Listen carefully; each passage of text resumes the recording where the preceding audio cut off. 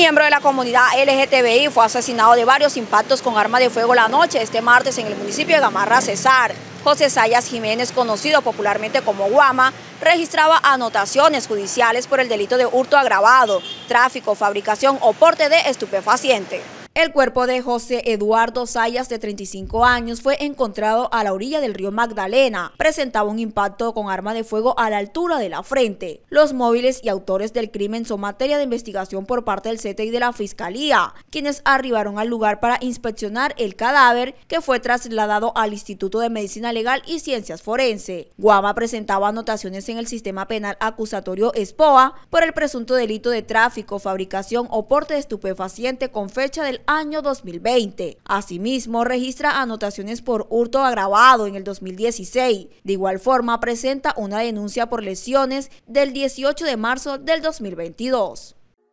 Ricardo Rojas Osorio, especialista en moda masculina y femenina, diseñada y confeccionada de manera exclusiva. Agenda tu cita en el celular 318-401-0676.